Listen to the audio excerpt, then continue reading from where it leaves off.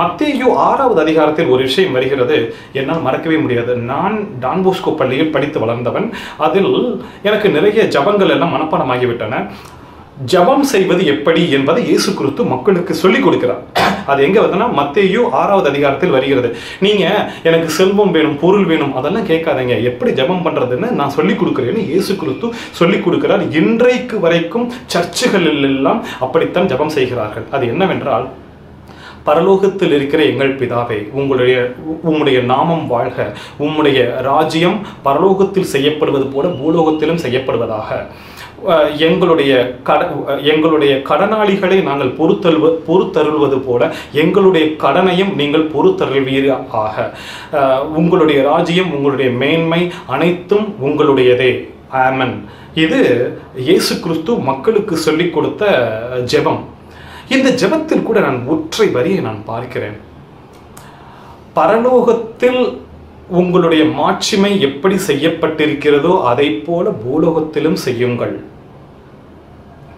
ஒரு ஆன்மீகவாதிக்கு இந்த ஒரு விஷயம் தெரியவில்லையா? இந்தியாவில் பொதுவாக இந்த அண்ட சராசரத்தில் இருக்கிற ஒரு மிகப்பெரிய சக்தி இந்த மொத்த பிரபஞ்சத்தையும் ஒரே மாதிரித்தான் பார்த்து கொண்டிருக்கிறது. ஒரு புழுவுக்கு என்ன அக்கறை செலுத்துகிறதோ அதைத்தான் ஒரு ராஜாவுக்கும் ஒரு கடவுள் செலுத்துகிறது. ஒரு புழுவை வேறு மாதிரி ஒரு ராஜாவை வேறு மாதிரி செலுத்துவது இல்லை என்கிற அந்த ஞானம் இந்தியாவில் இருக்கிற எக்கச்சக்கமான சாதாரண ஞானிகளுக்கு கூட இருப்பது இயேசு கிறிஸ்துவுக்கு தெரியவில்லையா என்ற குழப்பம் எனக்கு உண்டு. இதை நான் நிறைய இடங்களில் பார்க்கிறேன். அதே மத்தேயு ஆறாவது அதிகாரத்தில் இப்படி இயேசு கிறிஸ்து ஒன்று போதனை செய்கிறார் செய்கிறார். ஆகாயத்தில் இருக்கிற பட்சிகளை பாருங்கள். அவை விதைப்பதும் இல்லை அறு அறுவடை செய்வதும் இல்லை கிடங்குகளில் தானியங்களை சேர்த்து வைப்பதும் இல்லை ஆனால் அவ அவற்றுடைய வாழ்க்கை அழகாக ஒவ்வொரு நாளும் சென்று கொண்டு இருக்கவில்லையா நீங்கள் ஏன் இவ்வளவு பணம் பணம் என்று அழைகிறீர்கள் என்று இயேசு குறித்து கேட்கிறார். அற்புதமான விஷயம்தான். அந்த பட்சிகளை விட உயர்ந்த ஜாதி உயர்ந்த பிறப்பல்லவா நீங்கள்? உங்களுக்கு பகவான் செய்ய மாட்டாரா? நான் என்ன பார்க்கிறேன்? பட்சிகளை விட உயர்ந்த பிறப்பா நாம் எப்படி இயேசு கிறிஸ்து இப்படி சொல்ல முடியும்? கடவுள் ஒவ்வொரு பிறவியையும் ஒவ்வொரு உயிரையும் ஒரே மாதிரி தானே பார்ப்பார்.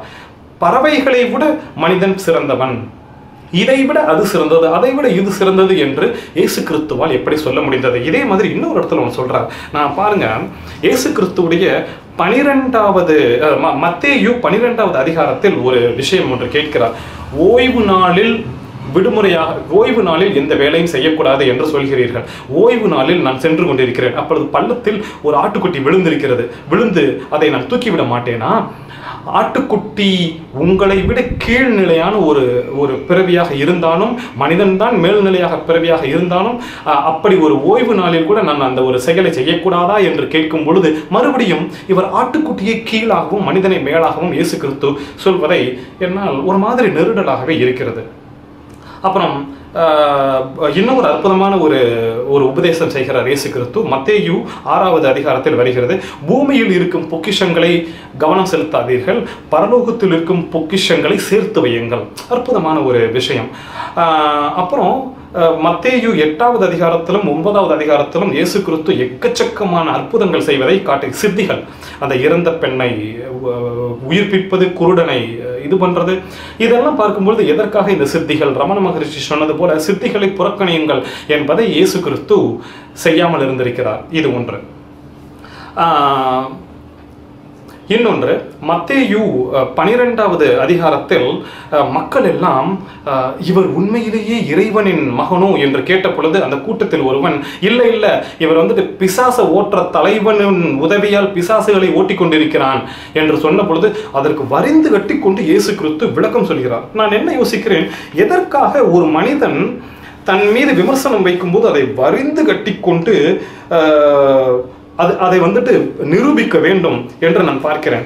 அதை அதை அப்படி நிரூபிக்கிறார்? எக்கச்சக்கமாக பெருசாக நிரூபிக்கிறார். நிரூபிச்சுட்டு இயேசு கிறிஸ்து இப்படி ஒன்று சொல்கிறார். என்ன சொல்கிறார்னா நான் உங்களுக்கு சொல்கிறேன் எந்த இல்லை இல்லை இந்த விஷயம். என்னோடு இராதவன் எனக்கு விரோதியாகிறான். இயேசு கிறிஸ்து சொல்கிற வார்த்தை என்னோடையே சேர்க்காதவன் சிதறடிக்கிறான். இதே மாதிரி இன்னொரு இடத்துல சொல்கிறார். இன்னொரு இடத்துல என்ன சொல்கிறாருன்னா இயேசு கிறிஸ்து மத்தேயு பத்தாவது அதிகாரத்தில் முப்பத்தி இரண்டாவது வசனம். மனுஷர் முன்பாக என்னை அறிக்கை பண்ணுகிறவன் எவனோ அவனை நானும் பரலோகத்தில் இருக்கிற என் பிதாவின் முன்பாக அறிக்கை பண்ணுவேன். மனுஷர் முன்பாக என்னை மறுதளிக்கிறவன் எவனோ அவனை நானும் பரலோகத்தில் இருக்கிற எங்கள் பிதாவின் முன்பாக மறுதளிப்பேன் இது இயேசு கிறிஸ்து சொல்கிறார் என்னங்க இது?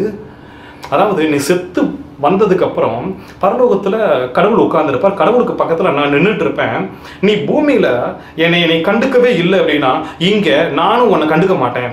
பூமியில் நீ என்னை வணங்கினா என்றால் இங்கே உன்னை நான் ரெக்கமெண்டேஷன் பண்ணுவேன் என்று மத் நான் சொல்லல. பத் மத்தேயு பத்தாவது அதிகாரத்தில் முப்பத்தி ரெண்டாவது வசனமாக இயேசு கிறிஸ்து சொல்கிறார். இங்கே மத்தேயு பனிரெண்டாவது அதிகாரத்தில் முப்பதாவது வசனத்தில் இயேசு கிறிஸ்து என்ன சொல்கிறார் என்றால் என்னோடு இராதவன் எனக்கு விரோதியாகிறான். என்னோடு சேர்க்காதவன் சிதறடிக்கிறான். அப்படின்னு சொல்லிட்டு அப்படியே ரொம்ப ரொம்ப பிரியன் விரியன் பாம்பு குட்டிகளை நீங்கள் பொல்லாதவர்களாக இருக்க நலமானவைகளை எப்படி பேசுவீர்கள்? இருதயத்தினால் இருதயத்தின் நிறைவினால் வாய் பேசும். பேசுங்கள் அப்படின்னு இயேசு கிறிஸ்துவுடைய வார்த்தைகளை எல்லாம் கொஞ்சம் விரியன் பாம்பு குட்டிகளே பொல்லாதவர்களே இதையெல்லாம் பார்க்கும் பொழுது எனக்கு ஒரு ஒரு ஒரு சிறந்த ஆன்மீகவாதியாக ஒரு சிறந்த மகானாக எனக்கு ஒரு மாதிரி நெருடலாகத்தான் இருக்கிறது. இன்னொரு விஷயம் நான் நான் கண்டுபிடித்த ஒரு விஷயம். இயேசு கிறிஸ்து எங்கெல்லாம் தெரியுமா அற்புதம் பண்ணியிருக்கிறாரு? நீ விசுவாசிக்கிறாய் நீ என்னை நம்புறியா? அப்படின்னு பார்த்துட்டு தான் அந்த இடத்துல வந்துட்டு குருடனை இது ப- என்னென்னலாம் மேஜிக் பண்ணியிருக்கிறாரோ அதெல்லாம் யார் யாரெல்லாம் நம்புகிறார்களோ யார் யாரெல்லாம் விசுவாசிக்கிறார்களோ அந்த இடத்துல அந்த மத்தியில் தான் வந்துட்டு அவர் மேஜிக் அற்புதங்கள் பண்ணுகிறார். யாராவது ஒருத்தவங்க கிண்டல் பண்ணுறாங்க அவன் நம்பலை அப்படின்னா இவர் வந்துட்டு அந்த அற்புதத்தை நிகழ்த்துவது இல்லை சிலுவையில் கூட வந்துட்டு அத்தனை பேரும் அப்பா உன்னால் முடியும்னா நீ வந்துட்டு தப்பிச்சு போ அப்படின்னு சொன்னப்போ கூட அவர் வந்துட்டு செய்யலை.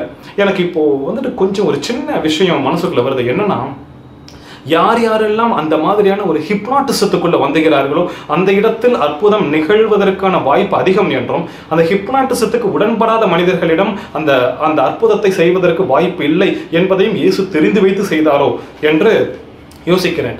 இயேசு தன் சாதகங்களை சீடர்களுக்கு கற்றுத்தரவில்லை. இதை நான் ஏற்கனவே சொல்லிவிட்டேன். பனிரெண்டு அப்போஸ்தலர்களில் மூன்று பேர் ஒன்று பீட்டர் இயேசுவை மூன்று முறை மறுதளித்தல் ஒருவர் இயேசுவை கைது செய்ய வரும்போது அந்த சோல்ஜரை காது அறுத்தல் இன்னொருவர் இயேசுவை காட்டி கொடுத்தல். தூக்கி சாப்பிட்ற மாதிரி யூதாஸ். இப்படி தன்னுடைய சீடர்களை இயேசு கிறிஸ்து வளர்த்திருக்கிறார். ஏங்க ராமகிருஷ்ண பரமஹம்சர் இரநூறு வருஷத்துக்கு முன்னாடி வாழ்ந்தவர். அவ்- இன்றைக்கு உலகம் முழுவதும் ராமகிருஷ்ண பரமஹம்சருடைய நிறுவனங்கள் உண்டு. அதற்கு காரணம் என்னன்னு கேட்டால் ராமகிருஷ்ண பரமஹம்சருடைய சீடர்கள் என்று நான் சொல்வேன். இயேசு கிறிஸ்து தன்னுடைய சீடர்களை இப்படி வளர்த்திருக்கிறார். கையில் கத்தி எதற்கு? இயேசுவை அரெஸ்ட் பண்ண வரும்போது அந்த சிப்பாயை போயிட்டு காது அறுக்கிறாருன்னா பீட்டரு கையில் கத்தி வச்சுட்டு இருந்திருக்காருன்னு தான் அர்த்தம். ஒரு ஆன்மீகவாதி என் கையில் கத்தி எதற்கு என்று நான் கேட்கிறேன். இன்னொரு விஷயம் இந்த பைபிள்லேயே இயேசு கிறிஸ்து ஒரு இடத்துல சீடர்கிட்ட ஒரு இடத்துல கேட்குறாரு மக்கள் என்னை பற்றி என்ன நினைக்கிறாங்க? அப்படின்னு கேட்குறாரு. எனக்கு ரொம்ப ஆச்சரியமாக இருக்குது இந்த மாதிரி நான் நிறைய சொல்லிக்கிட்டே இருக்கலாம். நான் பைபிளை தொட்டால் நிறைய சொல்லிக்கொண்டே இருக்கலாம் பெருமக்களை. நான் முடிப்பதற்கு முன்பாக நான் ஒரு விஷயத்தை சொல்ல விரும்புகிறேன். ஜிகர்தண்டா குடிக்கிறதுனா மதுரையில் தான் ஜிகர்தண்டா சிறந்தது. நீங்கள் சென்னையிலையும் ஜிகர்தண்டா குடிக்கலாம். அமெரிக்காவுக்கு சென்றும் ஜிகர்தண்டா குடிக்கலாம். ஆனாலும் ஜிகர்தண்டா என்றால் அது மதுரை தான். இது போல் நான் நிறைய சொல்லலாம். டெக்னாலஜி அப்படின்னா அது வந்துட்டு ஜெர்மனி தான். உலகத்தில் எங்கே வேணாலும் டெக்னாலஜி இருந்தாலும் அது வந்துட்டு ஜெர்மனி தான். பணக்கார நாடு என்றால் அது அமெரிக்கா தான். அப்போ அந்த மாதிரி நிற- நிறைய சொல்லலாம். அது போல பெருமக்களை ஆன்மீகம் என்றால் இந்தியா தான். அது இஸ்ரேலாக இருந்தாலும் அமெரிக்காவாக இருந்தாலும் எதுவாக இருந்தாலும் இந்த உலகத்திற்கு ஆன்மீகத்தை இன்றல்ல நேற்றல்ல இன்னும் ஆயிரம் வருடங்கள் அல்ல எத்தனை லட்சக்கணக்கான வருடங்கள் ஆனாலும் ஆன்மீகத்தை உலகத்திற்கு சொல்லிக் கொடுப்பது மதுரைக்கு ஜிகர்தண்டாவை போல். எங்க வேணாலும் நீங்க ஜிகர்தண்டா குடிக்கலாம் எங்க வேணாலும் ஆன்மீகம் இருக்கலாம். ஆனால் ஆன்மீகம் என்றால் அது இந்தியா தான் என்பதை இயேசு கிறிஸ்துவின் வாழ்க்கை மூலம் நான் அறிந்து கொள்கிறேன். இயேசு கிறிஸ்து ஒரு பெரிய மகான் தான் என்றாலும் ஆன்மீகத்தில் கொஞ்சம் இங்கே ஒரு சராசரியான ஒரு காவி உடை அணிந்த ஒரு மனிதனுக்கு இருக்கிற ஒரு விஷயம் கூட கொஞ்சம் மங்கலாக இருப்பது போன்றதான் எனக்கு தோன்றுகிறது. முடிப்பதற்கு முன்பாக பிரபஞ்சத்திடம் ஒரு கேள்வியை வைத்துவிட்டு நான் இந்த உரையை நான் நிகழ் நிறைவு செய்கிறேன். இயேசு கிறிஸ்துவுக்கு ஏன் இப்படி ஒரு தண்டனையை கொடுத்தாய் பிரபஞ்சமே? ரமண மகரிஷிக்கு மரணம் எப்படி வந்தது என்றால் புற்றுநோய். அவர் எல்லாருடைய பாவங்களையும் வாங்கி கொண்டார். பரமஹம்சர் சுவாமி விவேகானந்தருடைய குரு அவருக்கும் புற்றுநோய்.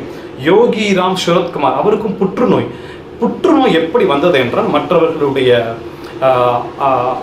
கர்மாக்களை வாங்கிக் கொள்ளும் பொழுது புற்றுநோய் வருகிறது. இயேசு கிறிஸ்துவுக்கு கொடூரம் வந்து சேர்ந்தது எனும் பொழுது உண்மையிலேயே இயேசு கிறிஸ்து மற்றவர்களுடைய கர்மாக்களை வாங்கி கொண்டாராம் இயேசு கிறிஸ்துவுக்கு இது கர்மாக்களினால் அந்த புற்றுநோய் வந்தது போல் உள்ள விஷயம்தான் இந்த மரணமா?